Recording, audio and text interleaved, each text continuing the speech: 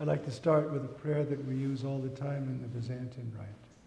Heavenly King, Consoler, Spirit of Truth, you who are everywhere present and fill all things, treasury of all that is good, choir master of life, come, dwell within us, cleanse us from all stain, and save our souls, O good one.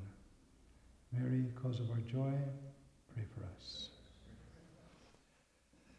Now, the uh, plan is to uh, do a history of marriage as the Bible presents it. So we're going to have two 35 minute lectures Old Testament, New Testament. Um, and um, the idea, you see, is to try to see the continuity. What holds the Bible together is the presence of Christ. Um, the fathers of the church delighted to see the uh, presence of Christ throughout the whole of the Old Testament. The uh, mysterious figure in Ezekiel 1, the resemblance of a man, they all said, That's Jesus. Not incarnate yet, but that's present. So, what holds, though we're going to be doing this historically, what holds all of this together is the Torah, is the covenant. But you see, what holds the New Testament together, and this issue, uh, others too, of marriage and family, is the Torah incarnate, Jesus Christ. And so we're going to try to consider that. Now, the presentation is going to be predominantly historical.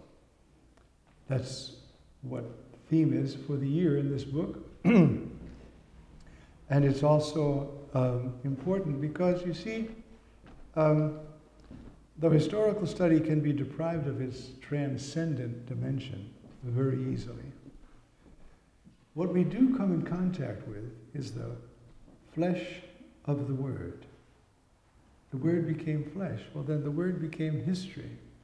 The Word became historical. And to understand this is to catch a glimpse of the Word in both the Old and the New Testaments. Now, that knowledge can be what I call Nazareth knowledge. Everybody in Nazareth knew who Jesus was, they knew what he did for a living, they knew where he lived, they knew, but they didn't have any idea who he was. So they had a dimension of historical knowledge, but they never let that sarx of the Logos, that flesh of the Word, mediate the true identity of Jesus. So we could do the same. We could be filled with all this interesting historical knowledge and not see how God in His mercy took this fundamental human reality and already had it revealed Himself. So we're going to try to uh, show you some of that. Um, first, as I say, the Old Testament and then the New Testament. Um, there are ways that we look at this. First, the uh, pre exilic material, that is before the exile, and then the post exilic material. The reason why that's done so often is because the exile was a turning point in the history of God's people for many reasons. One of which was they lost the thing they thought they never would lose.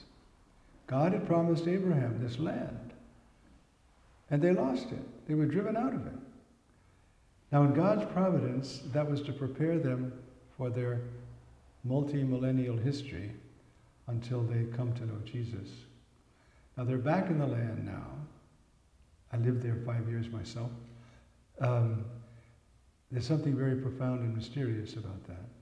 But losing the land, losing that way of life, they had to construct it in a foreign environment and cling to it. And that's what gave so many of their practices that tenacious quality, because they needed it. And most of the material that we have in the, in the Tanakh, in the, in the Old Testament, was put together in its present form after the exile. though some of it dates much, much earlier. Probably the time of David and maybe even earlier. So when I say pre-exilic, I mean the material that is easily identified as pre-exilic and uh, treats of pre-exilic themes. First, um, one of the most interesting things is the story of the patriarchs has many aspects of marriage of Rebecca, marriage of Isaac, um, and so forth, where you can glean the, the notion. Already underlying all of that is the notion that marriage is directed by God. When Abraham's uh, servant goes up north to find a wife for Isaac, and he meets Rebecca, starts a theme. He meets Rebecca, as you remember, at the well. Moses met his wife at the well. Jesus met the Samaritan woman at the well and proposed to the Samaritans that uh, they accept him in, in this woman. And so, uh, and then the, uh, he proposes uh, marriage. Laban, Laban is there. Laban is her brother.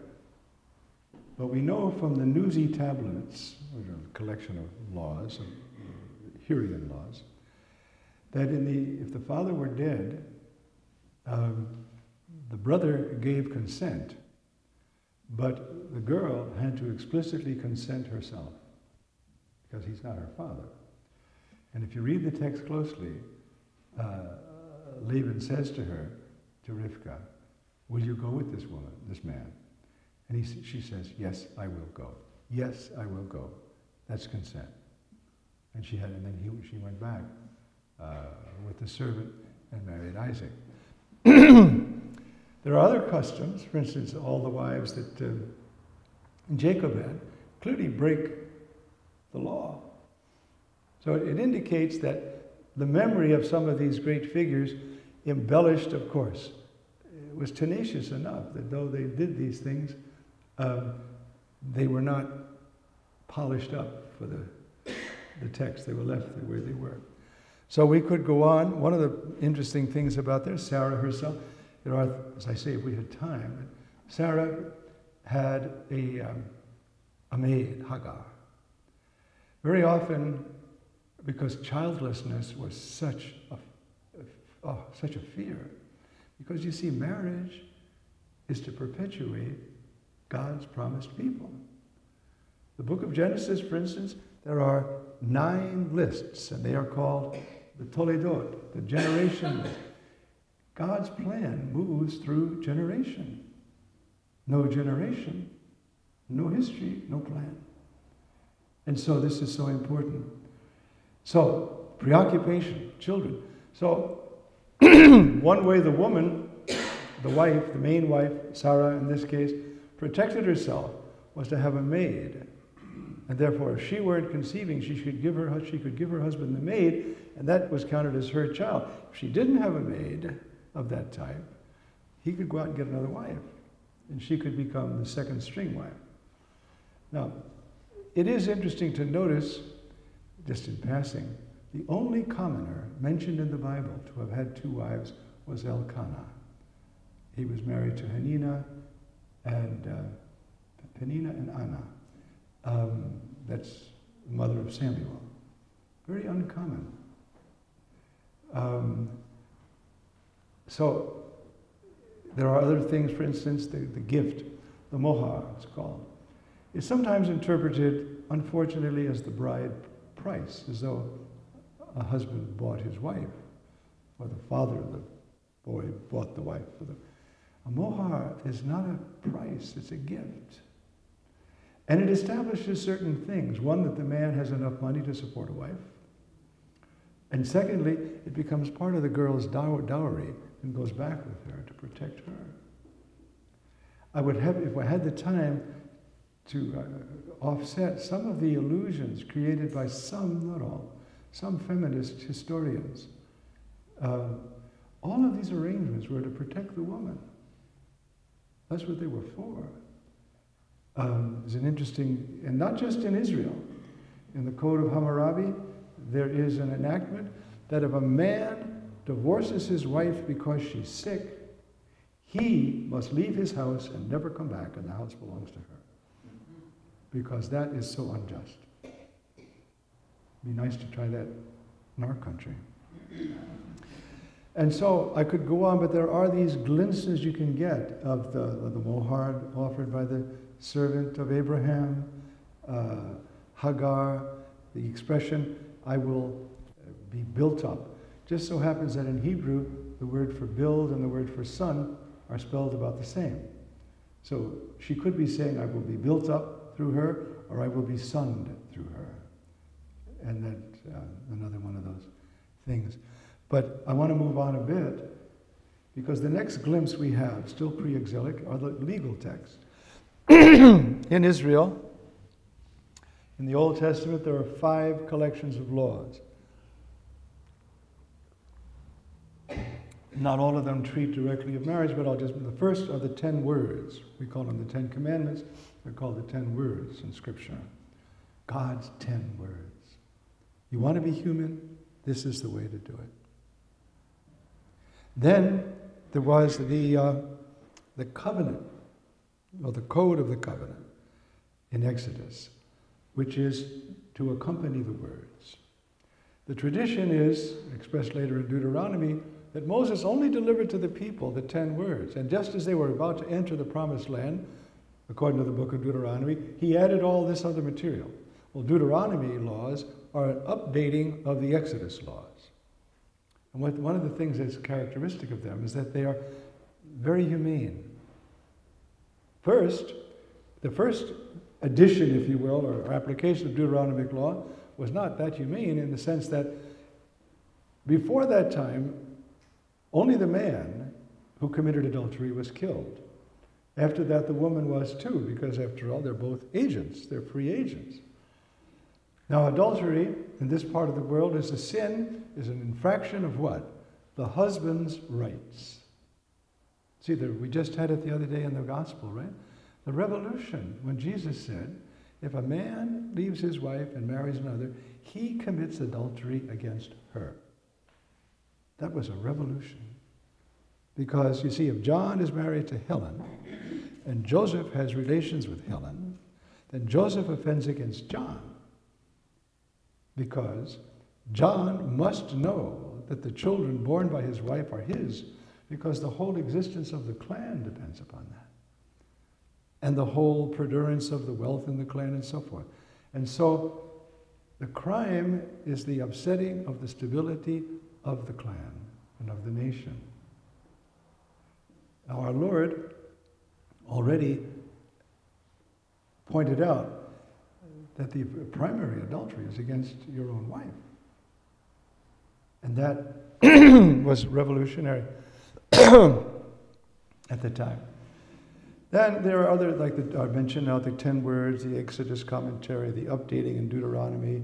Then there's the, um, the um, priestly code, the law of holiness in Leviticus, and then the priestly code in the First part, 1 to 16 is a priestly code, and the holiness code, 17 till the end of the book. In those, there are many interesting things to under, we can understand about marriage. I'm going to just summarize all of that to give you an idea. One of the main things I want to give you in, in analyzing this is that to be a wife is a very specific legal status. It's not to be a slave, it's not to be a prisoner taken in war, it's not to be a prostitute, it's to become a wife. Leisha. She, comes in. Le is the, the preposition for move into. She moves into the status of being a wife. And uh, that is a, a status that's never taken from her. She could be the ex-wife. But, but um, by the way, there's no law about adult about uh, divorce. It just says if you divorce your, your wife, she can never come back to you in Deuteronomy. Well, it was, it was done, but not the way it's sometimes portrayed. And that the men, since adultery was against the, the, the, the husband, the men were free to have relationships with anybody.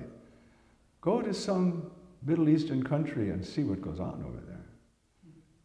You know, the way these people are, you know, because of this accent, thing we've lost. The integrity of this relationship, the family, the, you see, this is what's being. I remember once standing and watching a girl standing, standing in, a, in a doorway a little while away, and I said, She looks like a little princess to this woman standing next to me. She said, Yeah, but that's as far as she will go. She will never step outside that house until her father gives her permission. So you can imagine, therefore, besides, adultery was, was, was punished by death. Um, a profligate life was, was, was a disgrace. And there weren't that many women around uh, because of the way all of this was in that culture. It's not like here. You know, this was very because of the sacredness. Now, this is my first trying to show you. Why was it sacred? Many reasons.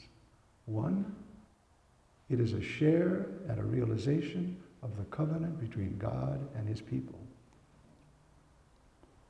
In the book of Proverbs, for instance, um, excuse me, I don't know why I'm stuck tonight, but anyway. Um, she, the woman, the, the, the strange, the nokriya, she's called, the strange woman. But that's the same word as you shall have no strange gods. Because adultery leads to covenant and fidelity to God Himself.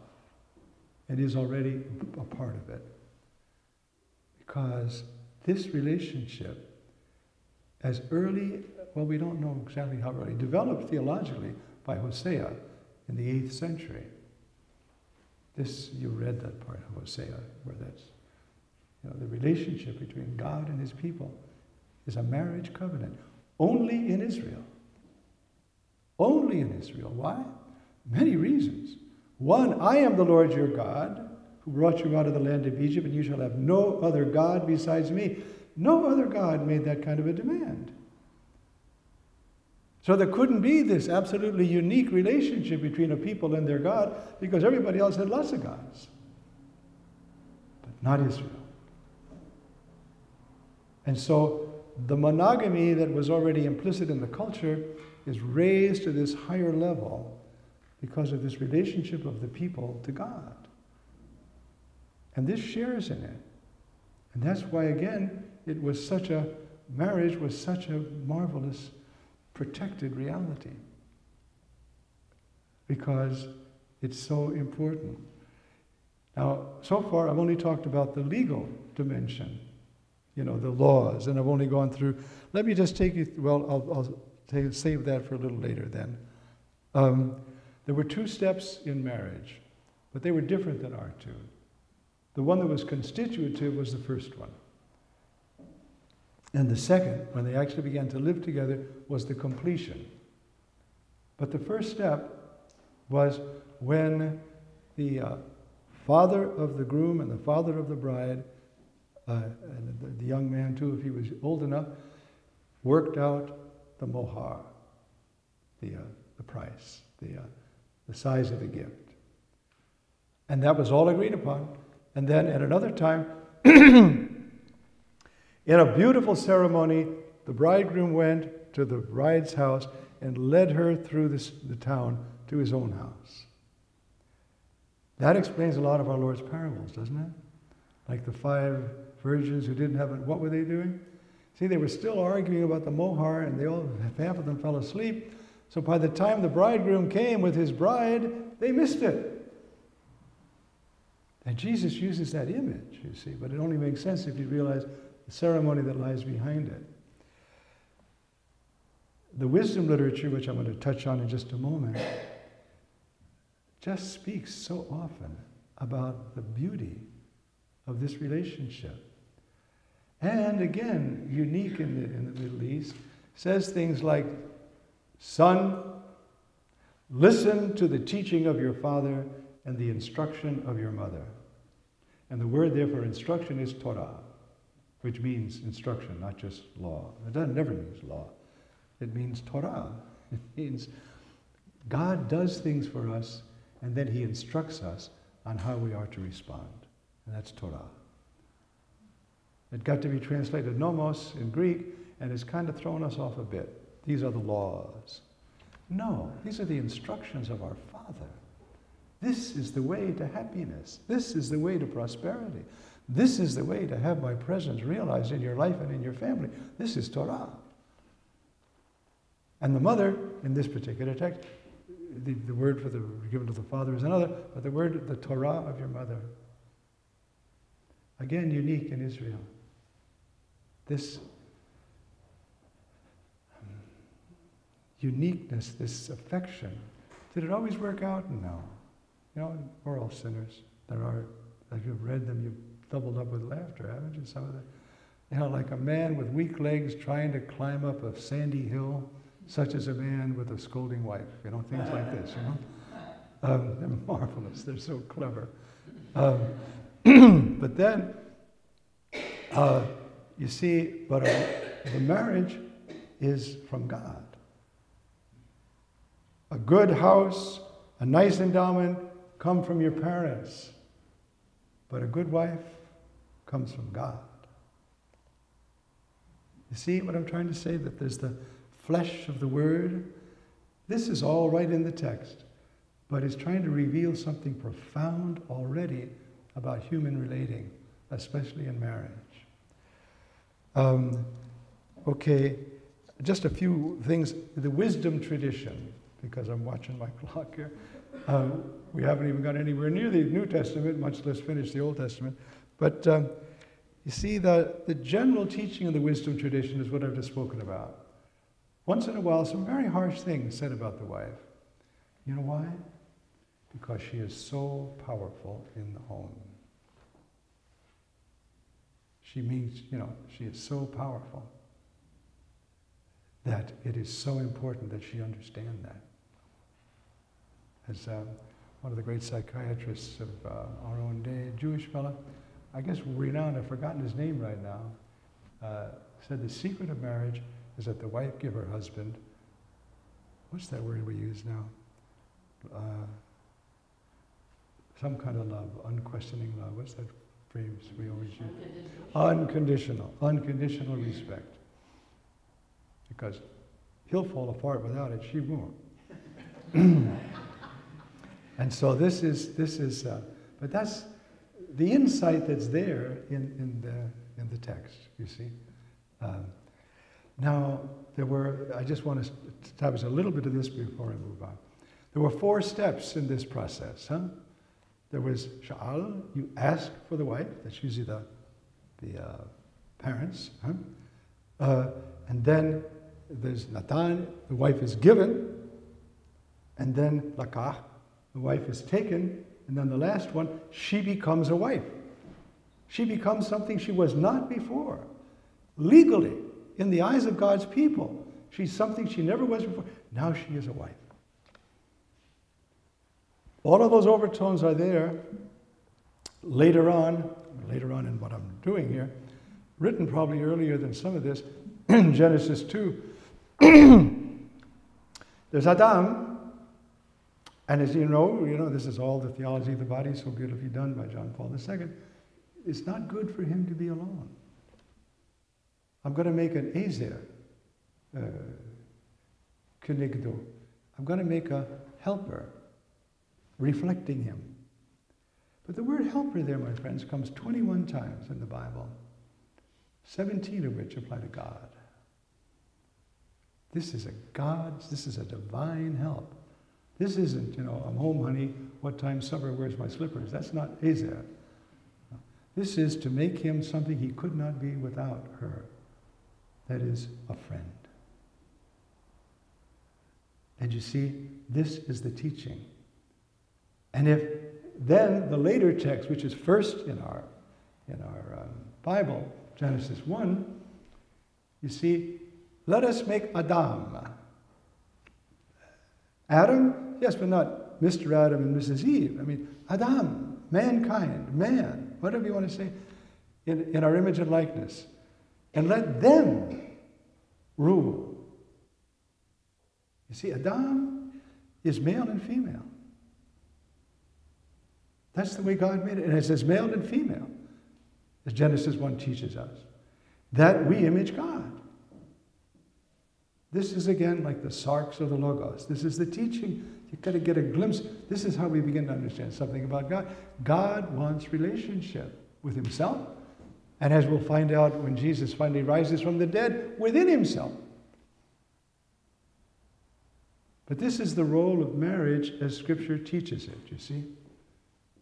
And so, um, so we've talked about the legal tradition quickly, the wisdom tradition, just a word now about the prophetic tradition. Because this is in Israel. Something went out. What did I do? Did I pull a button someplace? Did I? Oh, no, I didn't. It's all right. I wasn't talking into it. That was a problem. but you see, in the prophetic tradition, the first part of the tradition excoriates Israel for infidelity in marriage. And just list Hosea and all these prophets. Because it is infidelity to God. This is covenant. Under all of this history, there is Torah, there is Berit, there is covenant. But then they also begin, particularly with Hosea, to talk about Israel's infidelity as that of an unfaithful wife. But even in Hosea, chapter 3 is all about the restoration. In this culture, there are what they call, we, have, we all have them, performative language. I christen you the Queen Mary. Bang, the bottle hits the bow, and from now on, that's the Queen Mary. Performative language, right? Or take this, I want you to have it. Performative language. In this culture, um, he, he says to her, Ishti, you are my wife. And she says, Ba'ali, you are my husband. Divorce, lo loishti. You're not my wife. Performative language. So God says to his people, Lo ami, you're not my people anymore. You're too unfaithful to me. And then in the restoration, at the place where it was said, Lo ami, it will be said again, ami. That, and Paul quotes that latter part.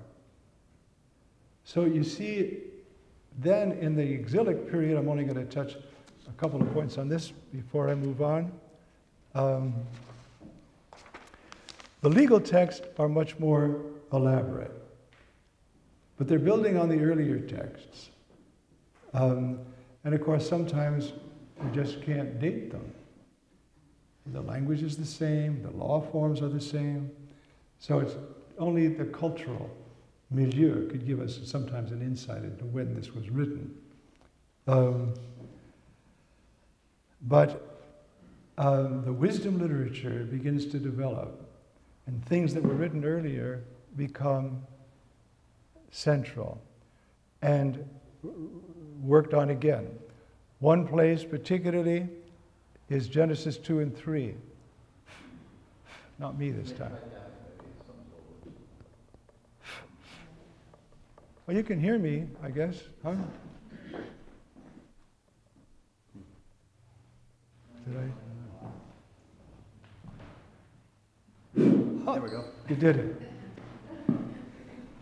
The, the wisdom, you see, the reflection in Genesis 2 and 3 is a very old part of the scripture. It was written by a group, one among a group, I'm not sure, I wasn't there, but it's a group of wise men who had such great respect for their predecessors outside Israel, who tried to come to grips with the mystery of origins. How come there's anything?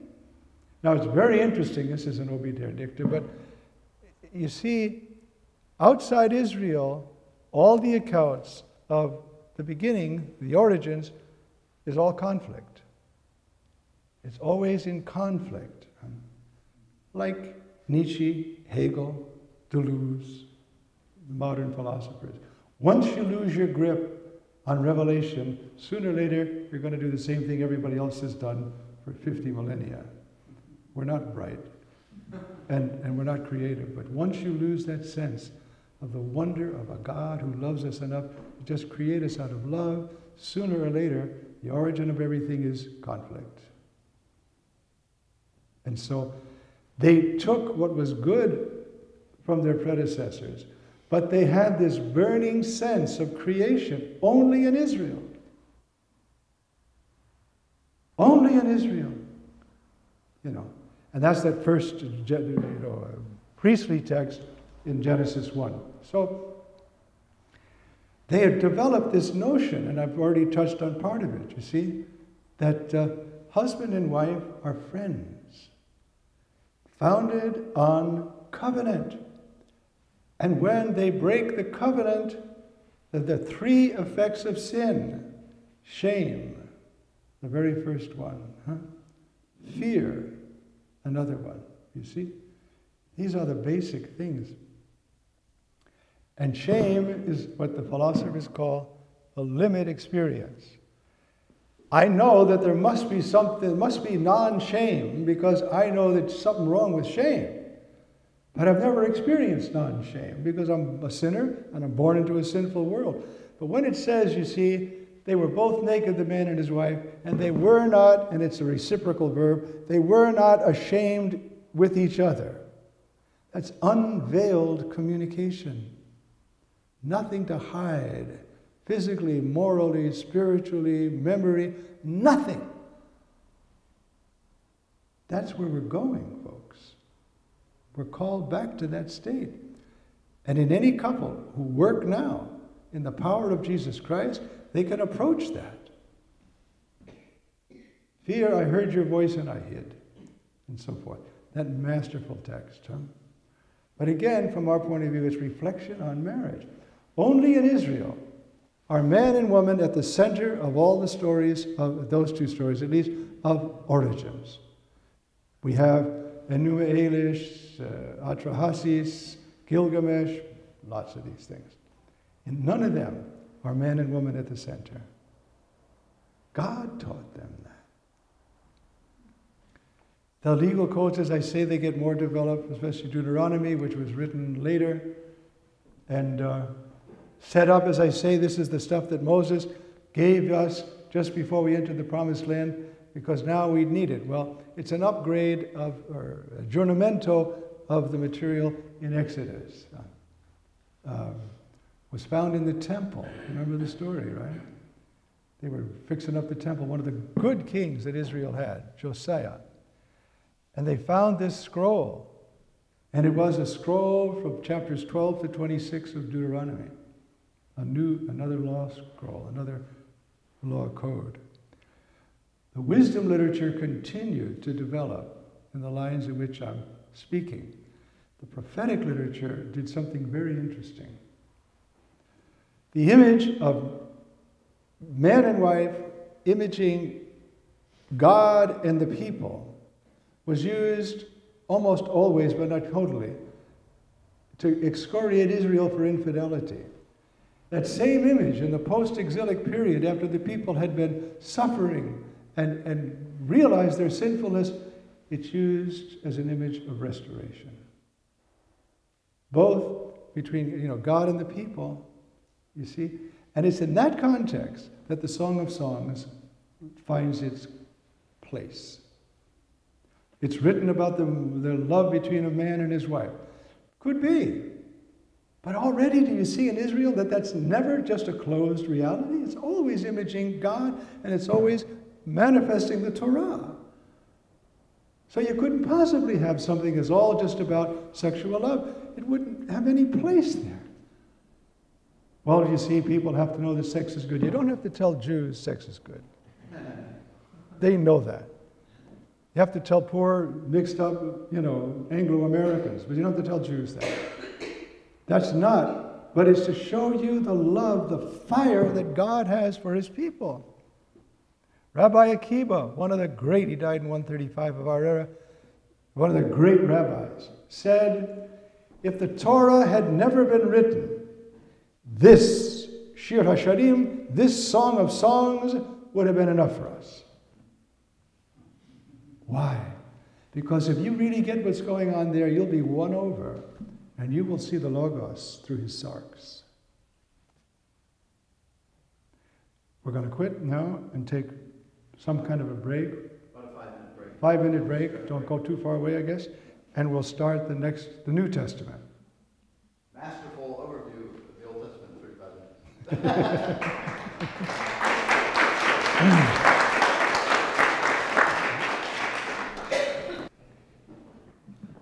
that. What's that? Yeah, I don't know if that's the. It just keeps coming in and out. I don't know why. We're going to take up a collection for sound equipment after. I, I don't have time to touch on what's called the intertestamental period. That is between the end of what finally was included in the canonical Old Testament, uh, Greek and Hebrew, they're a little different as you know, and um, the writings of the New Testament. The only point I want to make there is two points, I guess, just for your own. One is the strong opposition to divorce. Later on, among the rabbis, there was a saying whenever there's a divorce, the altar weeps. Um, earlier at Qumran, there was a strong teaching against divorce, picked up from Malachi probably and from Genesis. Um, one key word there, porneia, uh, porneia is the Greek for, for ervat dabar. Um, and in the in the Qumran text in the temple scroll, there's clearly no, it's in the Damascus document where people are tripped up because of this, and what they're talking about is divorce. Um, so there was a strong tendency, uh, ratified at a much higher level by our Lord, because he went and argued from Genesis. It was not like that in the beginning. And what God has made, man must not separate. So there's a, an important body of historical knowledge there to help us understand the background to some of the New Testament. But we don't have time to go into all that right now. So what I'm going to do is just look at a couple of points.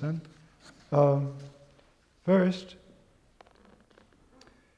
what is Jesus' attitude toward family, particularly in founding what we call the messianic family? First, Jesus was born into a family. He wasn't just born of Mary, he was born into a family. He had a totally human origin in the sense of he had a mother and a father who cared for him. He was born by the overshadowing of the Holy Spirit of the Virgin Mary, but he lived in a family. And Mary was not a surrogate womb, she's a mother. It's why she had to be immaculately conceived, so that all the impact that a mother should have on the child from the moment of conception could always be there. So she was totally a mother. And some of the, our Lord's basic images in the way he talks come from that relationship. Uh, the way he looks on reality. Even his sense of humor. If you just listen to his tone of voice, it's so kind and so. He sees how, you know, we're egomaniacs and he's trying to help us. You know, if you're going to have a party, if you go to a party, sit at the bottom and maybe he'll move you up. Everybody will make you look good. Do you think he came down from heaven to, to teach us that? I mean, any politician knows that. I mean, no, he was trying to tell us look at the Father the way I do and just be happy where you are. Trust me. Or when he says about prayer, you know, they go to the lady, the woman, the, the widow goes to the judge who's an unjust judge and bothers and bothers and bothers him until finally he does justice for her. He's portraying his father. Do you think his father is going to be like that? No. But he's saying, you've got to go to him and don't give up because he's more interested in you getting to know him than in getting things from him. And if you have to keep talking to him, pretty soon you're going to get to know him. Uh, those are, there are deeper things too, but there's a gentle sort of compassion for humanity in our Lord's heart. And it comes out in these funny little things like that. Or the one, was it today? Yeah, it was today, right? Or was it today? No, no, no. The, uh, the unjust steward, was that today? Yeah, it was, wasn't it? Right. You see a little historical study there? You see, in that part of the world, the steward, it was a big landowner, and these farmers were out, these tenant farmers, and he went around and said, All right, at harvest time, he calculates that stuff is worth about 60 barrels of oil, make it 90. The other 30 are for him. And the master knows this. That's the way they make money. That's the way the Romans, that's why the tax collectors were hated. Because they did that on the taxes too. You owe the Roman government, you know, $4,000 this year. But that's not what he says. He says, You owe the Roman government four plus $2,000. The two is for me. That's why they were hated. So this guy, he sees what's coming, and he's willing to take a short term loss in order to realize a long term gain. And Jesus says, These guys are smarter than you are. I'm offering you eternal life, and you wouldn't even take a hit on your ego. You see how wonderful he is? All right. So, Jesus was born into a family. He liked families. How many of the people he healed were the children of people? Know, the widow of Nain, uh, the daughter of Jairus. I mean, how many, how many of his stories come around people, around families? So, there's that. And then there will be, well, I'll do this one first, the uh, unbreakable nature of the marriage commitment.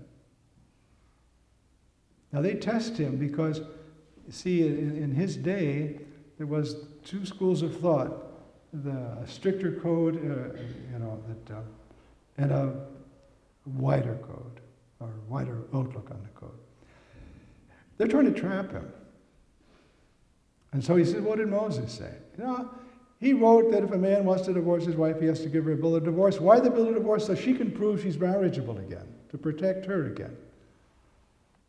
Um, and Jesus says, uh, That was given to you because of your hardness of heart, your disobedience. You won't yield to my Father. But the age of hardness of heart is over. I'm here. So there's no excuse anymore for that. Period. Now, the church in her mercy, why? Look, preparation for marriage begins at the cradle. And we don't prepare people to be committed to love, to lay down their lives. So after a couple of years, they get bored. The church has mercy on that, but that's what it really says is that was never a marriage. That's what annulment means. But that's unnatural. We're going to get through this if we just pray and let ourselves get renewed. But Jesus is saying, that's not the Father's way. And hardness of heart, it's over. I'm here. I'm going to die for you. I'm going to take you to heaven. Now, the, the, the technicalities in Matthew, the famous exception clause in Matthew, uh, it means consanguinity.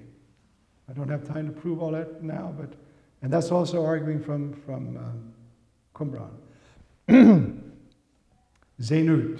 the word in, in um, Hebrew. Uh, but you'll have to take my word for it now because I don't have time to go into it all. You might mention just very quickly what the exception clause in Matthew is. Exception clause, well, you know, if a man sends away his wife, except for, porneia is the Greek word, except for unchastity, except for whatever, you know, some sort of sexual aberration. And uh, it doesn't mean except that she commits adultery, which was an earlier understanding. And porneia can mean that. It means the porneia is that he should have never married her in the first place. She's too closely related to him. That happened a lot. In that part of the world, you know, the, the big thing in that part of the world is keeping everything in the clan. And so I marry my first cousin to keep everything in the clan, but I can't marry my first cousin God already told the Israelites you can't do that. And so, but people did it. And outside Israel, all the time they did it. And that's porneia.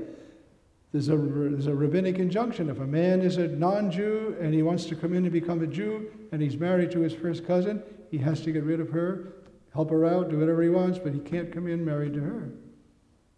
That's porneia. Is that clear? You know, you do this all day, looks crystal clear. so, but the other one is more interesting. there's the incident in Mark 3 and the parallels. Parallels means the other two synoptics. Um, your, your mother and your brothers are out there and they want to talk to you. And this, while the wording is different in the three, slightly different, the idea is the same, isn't it? I think I've got Mark right here, uh, who's the toughest on all of this, by the way. Um, it's right in Mark, it's right after choosing the disciples. And I'll show you why in just a moment. And he went into the house, and everybody gathered around him. And then, um, you know, he's talking to them, and then they say, um, you know, your people are out there, and your mother and your brothers are out there, and they want to talk to you. And he says, um, Behold, my mother and my brothers. If anyone does the will of God, he is brother and sister and mother to me. And in doing that, he broke through millennia of this world's thinking about marriage. It's not just to keep the clan going, it's not just to keep the money in the clan, it's not just to have the glory of the, you know, the first quarterback in the clan or whatever. It's not what it's for. It's to bind you to me in your flesh so that we can all go to heaven together, and that makes your marriage deeper and more fruitful and eternal. But now you belong to a bigger family. You belong to a messianic family. And that takes marriage and puts it in a whole new, potentially eternal context. And that's why, all the time, Paul says, Brothers, Adelphoi, brothers, I want to write to you. It's not just like, you know, give me five, brother. You know, it's not that kind of brother. It's you and I are in the same messianic family. Jesus founded it. That's very important because you see, this marriage is not just a this world's reality, it's an eternal vocation.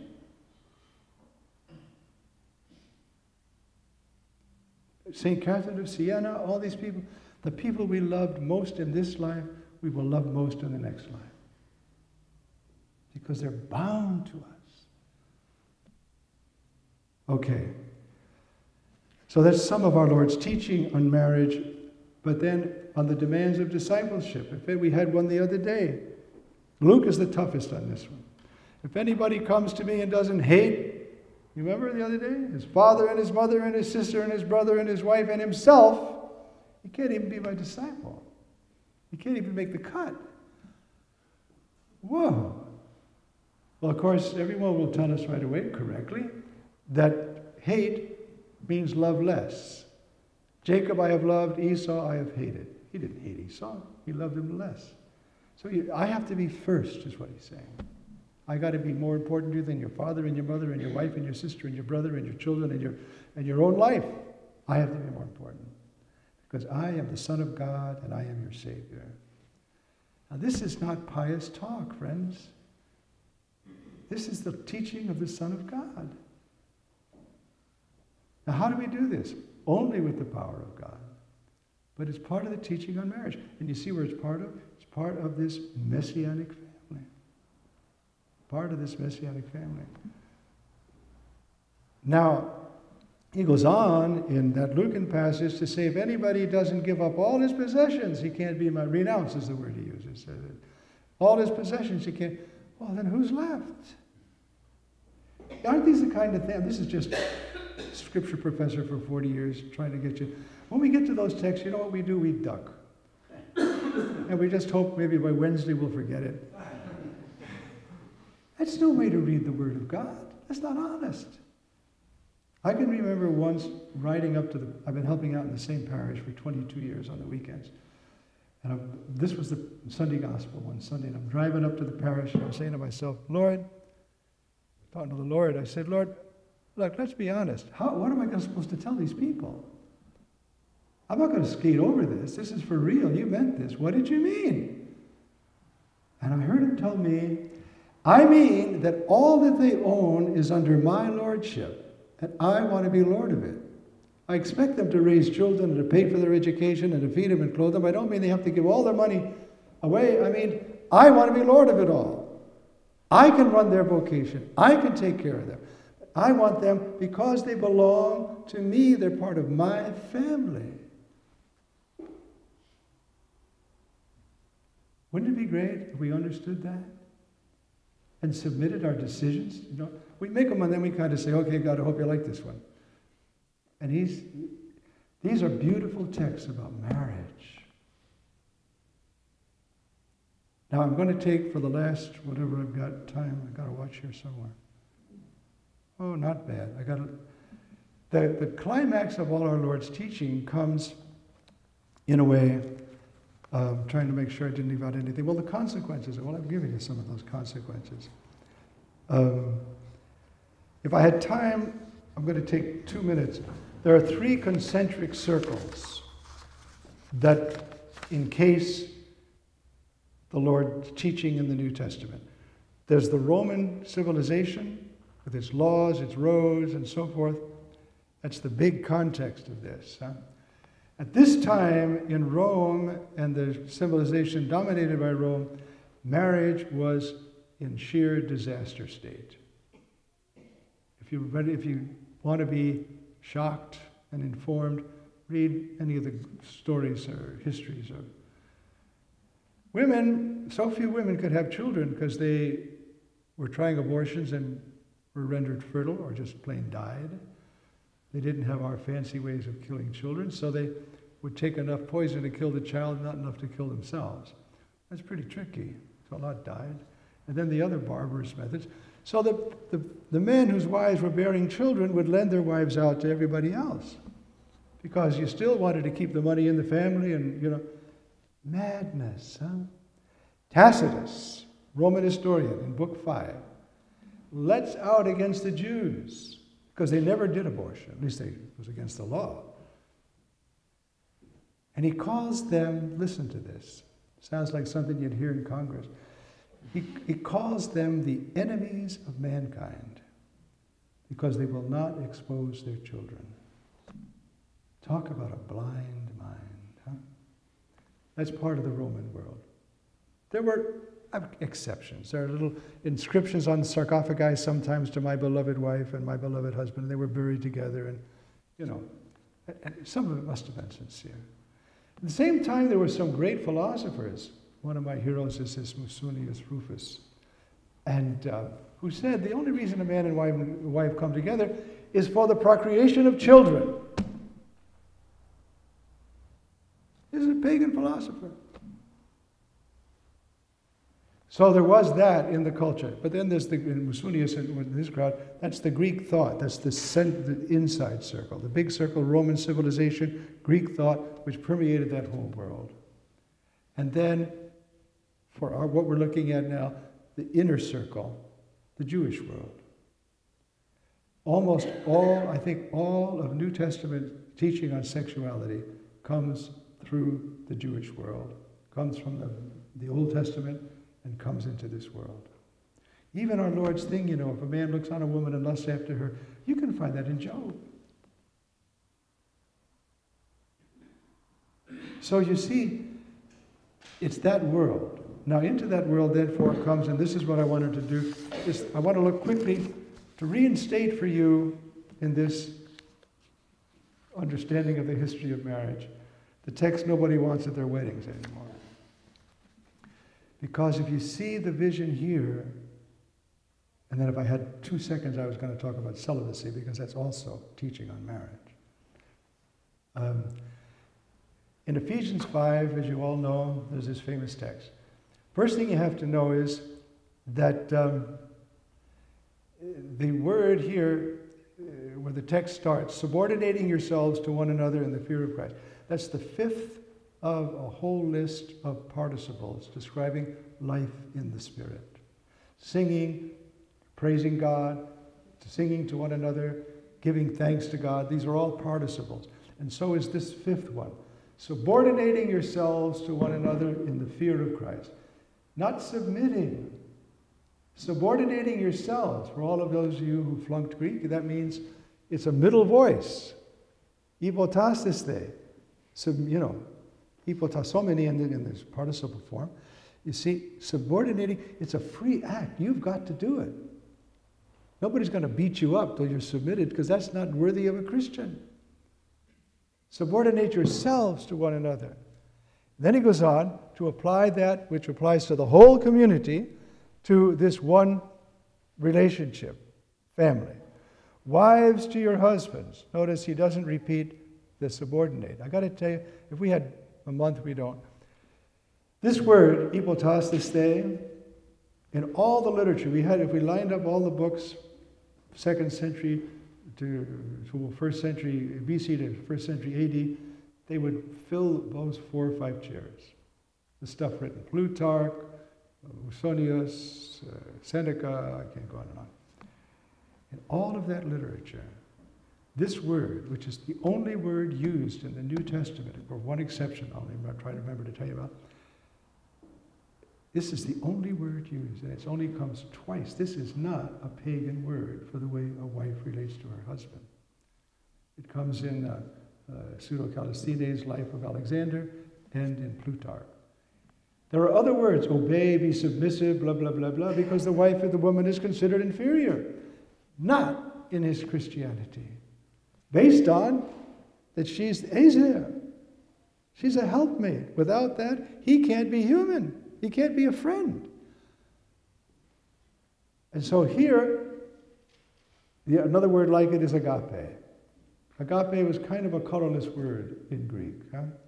And the Septuagint, the Greek translation, used it, but Christianity took that word and filled it with its own content because it had a miracle to talk about. God is love. You need a word. Where do you get a word? You go to Sanskrit or something? I mean, where are you going to get a word? So they took a word that meant affection and so forth, but and filled it with its own content. And if you watch closely, you'll notice in the New Testament, this word agape, this reality agape, never originates with a human being. It always originates with God. It's very important. And so, another word like it is this one subordinate yourselves. Why? It's like Paul says in Philippians you know, let everybody think of other people greater than themselves and, and, and strive for unity and want to serve one another and all that stuff. Or Galatians, you are free now, so be slaves to one another. To levantes, uh, you know. Be a slave to one another. Because now you're free, you can do this. You're not forced, it's love. Or our Lord. If anybody wants to be first, let him be last. This is all this text is saying. Everybody's supposed to do this. Because a husband is head of his wife, that means uh, source as well as initiator. Just as Christ is head of the church. And how is Christ head of the church? He is Savior of the body not as omnipotent incarnate Word of God. Of course, He's head of everything. As Savior of the body. That's His headship. But just as the church subordinates itself to Christ, so too wives to their husbands in everything. There's one more word I should have gone back up there. Subordinate yourselves to one another in the fear of Christ. Darn it, nobody translates it oh, out of respect for Christ. He means fear, because fear is a precious thing. In First Peter, you know, explain your faith to people in fear, because it's a sacred, marvelous thing you're doing. You're talking about the depths of reality that have been given to you. Given to you. You don't deserve it. Now share it, but in fear. I remember once talking to a woman about 60 something, and she said to me, I'm not very interested in, anymore, really, in relating to my husband sexually, but he's very interested. So I try very hard to be cooperative and loving, and because I fear. Now, she didn't mean that her husband was going to beat her up. It meant that mystically she understood this relationship and the sacredness of sexual intercourse. Compare that to the TV. You see, and so, uh, the reason I brought it up is it's there, and then the last thing it says about the wife is let her fear her husband. Again, it means look on this relationship in awe. Got nothing to do with being afraid of anybody. And that's it. I remember once uh, I'm chaplain of a small community. We were doing this with some of the men, you know. We, and we were reading this text, and they said, you know, geez, that's tough on the women. I said, you idiots. Look at this text. First place, 75% of it is directed to the men, not the women. And it says, you have to die out of love for your wife. That's what it says. And that's the way Christians relate. Well, that's sanctity. Well, of course it's sanctity. What else is there? But why do we, what else have we got to live for? And being married is an infallible sign that you're called to sanctity. So I'm going to read just a little bit more, but I'm trying to sum up the New Testament teaching coming from Jesus, who gave the example. He married his wife, the church, by laying down his life for her. And that's the model. Okay.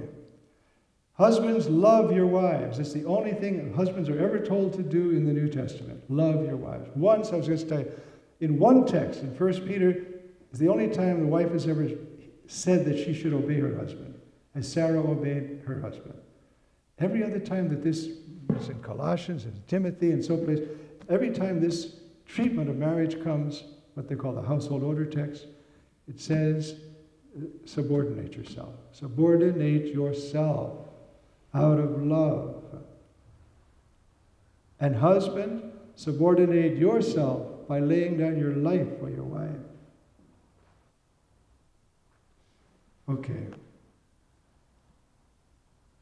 Well, it's really, you know, I'm trying to create the environment because the words don't ring like this in our culture today. We look at every text with power colored glasses. So this is a power struggle going on here between husband and wife. And the guy writing this text, he's for the husband. Read it. And don't forget, it is the Word of God.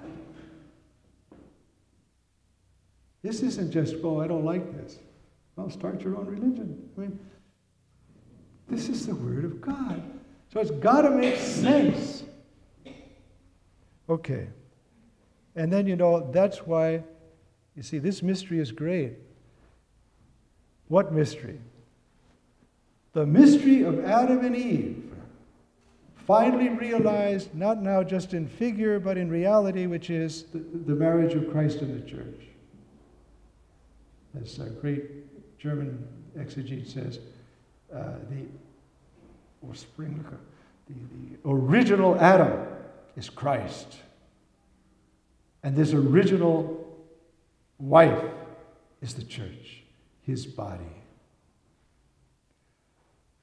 So it's a beautiful, exalted grasp of our eternal destiny. I'm going to quit. It's time.